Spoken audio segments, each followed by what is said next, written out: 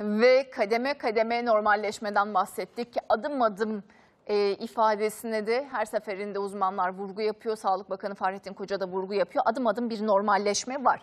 Kademe kademe. Şimdi o normalleşmeden sizlere bahsetmek istiyorum. Tarihlerle birlikte 5 Mayıs'ta 7 ilde seyahat kısıtlaması kaldırıldı. İstanbul, Ankara ve İzmir'deki ticari taksiler tek çift plaka uygulaması sona erdirildi. Bir diğer tarihe gittiğimiz zaman 10 Mayıs, tarihler 10 Mayıs'ı gösteriyor. 11-15 arasında 65 yaş ve üzerine 4 saatlik sokağa çıkma izni var.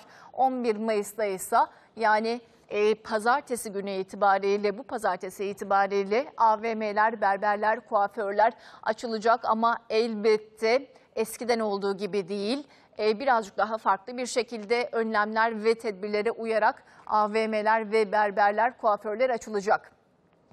Tarih 13 Mayıs'ı gösterdiği zamansa 11-15 arası 0-14 yaş grubuna sokak izni var. 31 Mayıs'ta askerlik terhis işlemlerinin başlangıcını görüyoruz.